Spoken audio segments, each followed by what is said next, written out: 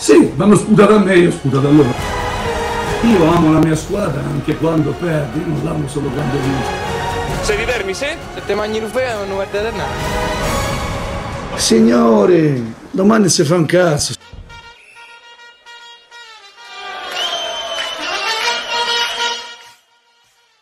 Domani, anzi oggi si fa il podcast. Ben ritornati nel podcast di Terna News. Io sono Lorenzo Donzelli, qui con me i soliti Fabio Bergonzi.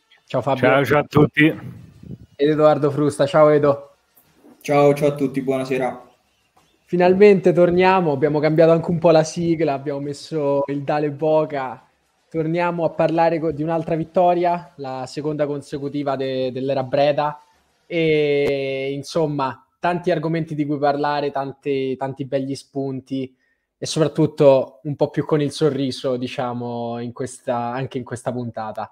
Mandiamo subito allora le parole del mister, così facciamo bene la, gli ordini del giorno.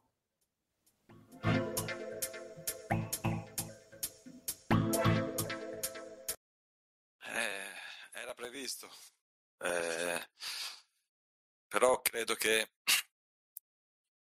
nel nostro processo di, chiamiamola crescita, il fatto magari anche di sentire una partita così ci sta anche. Perché abbiamo giocato molto più col freno a mano di t- delle altre partite e con meno lucidità e meno che qualità. Bene la voglia in ogni caso di trovare soluzioni. Detto questo, la B è anche questa, è importante portare a casa punti, eh, ma non vuol dire che con questo siamo contenti di questa sono contento di questa prestazione e non devono essere neanche i ragazzi. Eh, dobbiamo lavorare tanto e dobbiamo capire che la B ti richiede un'intensità fisica e mentale costante. Noi lavoriamo tanto per avere quel tipo di intensità e dobbiamo tirarla fuori e pretenderla sempre. Poi bisogna fare anche i complimenti, secondo me, a Freddy Salò, che in ogni caso è una squadra che ha dei valori, è quadrata, e ha anche buoni giocatori, eh, però noi insomma, potevamo fare qualcosa in più. Eh, lavoriamo con l'idea di non accontentarsi e di far sì che queste partite portino punti, ma portino anche insoddisfazione e voglia appunto di, di migliorare sempre.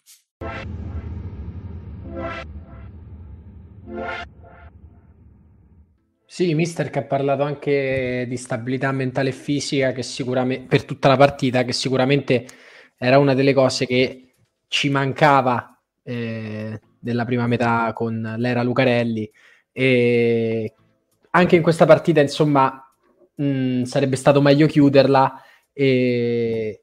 però per una volta, diciamo, dai, che ci è andata bene sul punto di vista del risultato. Ragazzi, lascio parlare, lascio a voi la parola Edo, che ne pensi di queste parole del mister e della partita? Allora, io sono d'accordissimo con le parole del mister eh, sul fatto diciamo, che non ci dobbiamo accontentare, ma eh, che dobbiamo anche cercare diciamo, di migliorare dal punto di vista del gioco, ma anche sul fatto che eh, l'importante ora è fare i punti. E ho visto comunque una Ternana nel primo tempo molto simile al primo tempo di Cosenza, in cui abbiamo fatto fatica a costruire eh, il gioco, a comunque a tirare in porta. È stata comunque una partita molto diciamo, sofferta da questo punto di vista inizialmente. Eh, entrambe le squadre avevano paura di farsi vedere in avanti, data anche l'importanza della sfida. Eh, era praticamente uno scontro diretto, quindi ecco, ci può, ci può stare un inizio di partita del genere. Eh, siamo stati diciamo, bravi e fortunati a trovare il gol nel finale del primo tempo che eh, purtroppo però dopo il, il, pareggio immediato nell'inizio del secondo tempo ecco è, è balzo a poco. Siamo stati però bravi a riportare subito la parte dalla nostra parte con una bellissima azione di Falletti che ha dato un'ottima palla a Lucchesi e che nonostante il pessimo stop è riuscito a buttarla in rete Ehm, vanno diciamo, fatti complimenti anche in questo caso ai giovani, eh, vista l'ottima partita di Lucchesi, Raimondo, che eh, diciamo, oggi è stato, questa partita è stata un po' più sottotono rispetto alle altre, eh, il bellissimo gol di, di Stefano, il, eh, il Favasuli è entrato in campo benissimo, e anche in questo caso diciamo che i giovani hanno fatto la differenza.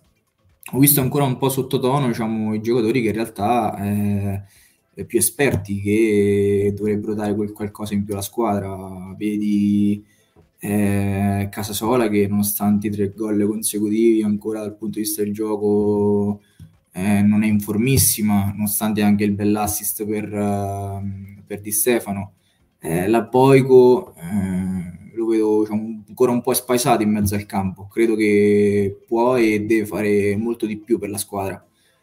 E, um, ho visto una condizione atletica e fisica nettamente migliore rispetto alla gestione Lucarelli. Eh, corriamo per uh, tutti i 90 minuti oltre. Vedo anche diciamo che mh, ecco, una condizione nettamente migliore e questo è molto importante. E anche perché se non corri nel calcio non vai da nessuna parte, sembra una banalità, ma purtroppo è così. E basta vedere diciamo, la partita con il Palermo in cui eh, negli ultimi dieci minuti noi eravamo in 10, loro in 11 e sembrava che loro erano eh, la squadra con l'uomo in meno. E quindi ecco, sono contento e ancora più fiducioso per le partite che, che verranno. Eh, domenica ci aspetta una partita fondamentale e mm, ecco, credo che questo ne parleremo più tardi. Lascio a te la parola Fabio. Sì, beh, io sono molto d'accordo sia con, per quanto riguarda l'analisi della partita fatta dal mister, sia per quanto riguarda quello che hai detto te. Eh, penso che sicuramente non è stata una delle migliori prestazioni della, della Ternana quest'anno, soprattutto da quando è arrivato il mister, però eh, voglio diciamo spezzare una lancia comunque sia a favore dei ragazzi perché credo che in una partita come questa contava molto più il, il risultato della prestazione. E diciamo che mi schiero anche in un dibattito che spesso si, si, è visto anche in Serie A, in questo caso dalla parte dei risultatisti. Ecco. E quindi siamo contenti di questa vittoria, una vittoria che muove la classifica, perché adesso comunque sia siamo fuori dalla zona retrocessione in zona play-out. E, e soprattutto è una vittoria che, che fa morale, fa morale per, per, la squadra, fa morale soprattutto per, per, i giovani, per uno come Lucchesi che comunque sia ha iniziato a giocare titolare da, da diverse partite, ormai sono credo 4-5 partite che sta giocando da titolare, insomma sono contento per lui che, che abbia trovato il gol e sono contento anche per, per Di Stefano che io stesso insomma avevo tirato in ballo la settimana scorsa dicendo che eh, poteva magari essere un giocatore fondamentale in questo periodo per la Hernana e insomma ha risposto, ha risposto presente ce lo ricordiamo, fatto, ce lo ricordiamo. insomma ha fatto anche un gol di, di pregevole fattura così come lo aveva fatto contro, contro la Reggiana quindi è un ragazzo che le qualità le ha e sta iniziando a dimostrarle speriamo possa dimostrarle sempre con più continuità. E poi comunque sia, sì, per quanto ha detto Edo, magari c'è, c'è bisogno di, di, un maggiore apporto da parte di, di, di, coloro che conoscono meglio la categoria e, e quindi speriamo che anche loro piano piano si inizino a prendere la squadra sulle spalle, un po' come ha iniziato a fare Falletti da, da un po' di partite a questa parte perché l'assist che fa diciamo a, a Lucchesi eh, è un assist insomma eh, che fa parte del suo bagaglio tecnico di cui ci aveva abituato anche a cui ci aveva abituato anche e soprattutto gli scorsi anni che, che in questo inizio di campionato era un po' mancato però ultimamente diciamo che, che sta tornando ecco e poi sì Chiudo anch'io parlando un attimo e lanciandovi questa provocazione riguardante il Lecco. Lorenzo la, la settimana scorsa ci aveva chiesto se noi avremmo firmato insomma per, per fare quattro punti eh, in, in due partite. Io avevo detto di no perché avevo paura che magari eh, perdevamo un'occasione importante eh, di vincere contro la Feral Pisalò che secondo me tra le due comunque sia era, era la più importante perché si giocava in casa e, e avevo paura magari di, di, non fare punti lì, però adesso che insomma abbiamo questi tre punti io vi dico che magari un pareggio contro il Lecco ci starebbe anche, diciamo. Ovviamente bisogna andare con, con la convinzione di poter vincere la partita, però non, non rimarrei dispiaciuto se, se non dovessimo vincere, ma dovessimo pareggiare. Poi vorrei sentire anche la vostra opinione su questo. Ecco. Eh, guarda Fabio, ti dico la verità, secondo me una vittoria sarebbe fondamentale domenica, ecco, eh, non firmo neanche per il pareggio, diciamo, e, ehm, anche perché in questo momento siamo una squadra in fiducia, in forma, che eh, si è resa conto di quali eh, sono il, i propri mezzi e che, e che si è resa conto di potersela giocare con tutte. Eh, secondo me Breda è stato molto bravo da questo punto di vista, trovando un equilibrio nella formazione titolare, schierando eh, sempre gli stessi, a meno diciamo eh, infortuni o squalifiche. Ecco. Quindi non lo so, mh, mm, l'importante è entrare in campo convinti eh, e con la voglia di, di vincere e di farcela come nelle ultime due. Eh, dobbiamo anche essere realisti però eh, diciamo che nelle ultime quattro la Ternana ha tenuto una media di 8 punti, ha, ha fatto 8 punti con una media di 2 punti a partita eh, questa è una meta promozione diretta, quindi sicuramente eh, non potremo mantenere questo, questo ritmo per, per, il resto delle partite del campionato, sfortunatamente. E, però ecco, già diciamo queste due vittorie ci danno una tranquillità diversa rispetto a come ci trovavamo eh, quattro partite fa. Io Fabio ti rispondo che se dopo la prestazione con il Cosenza ero diciamo più, eh, più fiducioso contro la Feral Pisolo nonostante la vittoria, ecco, mh, mm, mi ha un po' rimesso i piedi per terra, insomma mi ha fatto capire che dobbiamo essere concentrati, quindi eh, con il Lecco sicuramente non sarà una gara facile. E ti dico la verità, forse per il pareggio firmo, soprattutto perché se andiamo a vedere anche nella casa degli altri, diciamo ci sta la, la Reggiana e il Sottirol che, hanno, che stanno sopra di noi e che hanno entrambi una, delle sfide abbastanza difficili, eh, rispettivamente contro Venezia, che è la seconda forza del campionato, e contro una Sampdoria che eh, è in netta ripresa. Eh, quindi diciamo che un pareggio andrebbe anche bene eh, in termini anche di classifica. E... Tu invece, Fabio, cosa faresti? Cioè, firmeresti per il pareggio? Allora, mh, mm, diciamo che magari non firmerei come ha detto Edo, ecco, però eh, essendo più realista, diciamo, mh, mm, non sarei troppo dispiaciuto insomma se dovessimo pareggiare contro il Lecco in uno scontro diretto, ecco. Penso sia molto più tragica una sconfitta eh, piuttosto di, di, quanto ci possa far come una vittoria. Ecco, spero di, di essermi capito. Va bene, perfetto Fabio. Volevo contraccambiare eh, la provocazione con un'altra provocazione, questa invece in termini diciamo di, di campo. Eh, Favasuli lo vedete più come un'arma dalla panchina o prima o poi diciamo si prenderà il posto da titolare?